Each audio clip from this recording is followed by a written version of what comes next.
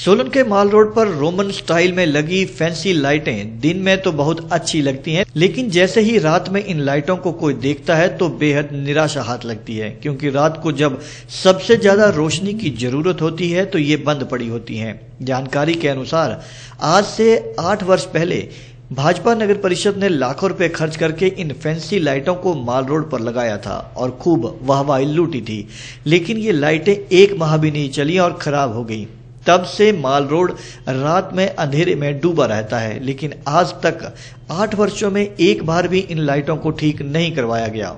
शहर वासियों ने रोष प्रकट करते हुए कहा कि इन फैंसी लाइटों को लगाने के लिए लाखों रुपए नगर परिषद ने खर्च किए थे ताकि माल रोड का सौंदर्यकरण हो सके और उसका अंधेरा खत्म हो सके। लेकिन लाखों रुपए खर्च करने पर भी माल रोड पर अंधेरा ही छाया रहा, जिसके चलते ये लगता है कि जनता के टैक्स के पैसे का दुरुपयोग हो रहा है। इसलिए या तो इन लाइटों को या तो दुरुस्त किया जाए और अगर वे इसे ठीक करने में सक्षम नहीं है तो इसे माल रोड से उखाड़ लेना चाहिए ताकि रास्ते पर चलने वाले लोगों को असुविधा ना हो।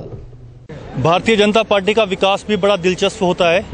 सात, आठ साल पहले सोलन के माल रोड पर इन्होंने बहुत लाखों रुपए खर्च करके यहाँ पर लाइटें लगाई थी। और बड़ी हैरानी की बात है कि ये लाइटें सात दिन पे नहीं चली। तो ये किस तरह का विकास करते हैं?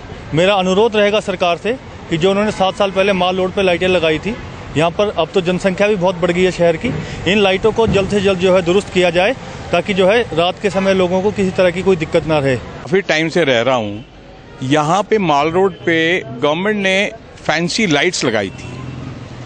शुरू शुरू में तो वो मेरा ख्याल है ज़्यादा ज़्यादा पंद्रह मिनट, पंद्रह दिन चली होगी, और उसके बाद वो फ्लॉप हो गई।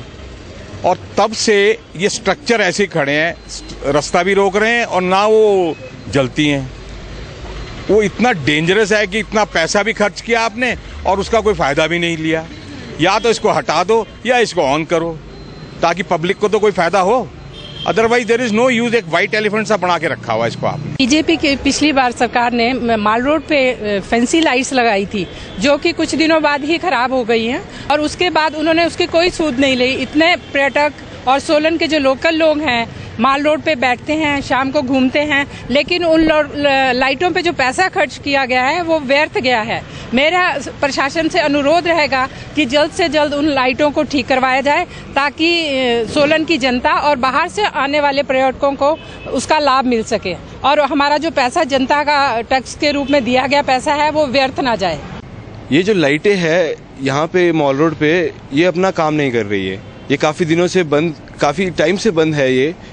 हमारा सरकार से अनुरोध है कि ये जो लाइटें हैं, या तो अच्छे ढंग से काम कर ले, या इसको रेनोवेशन वगैरह का कोई काम करा दे, या फिर इसको निकाल ही ले जाए। फिर कोई फ़ायदा तो नहीं है अगर लाइटें अपना काम नहीं कर रही है।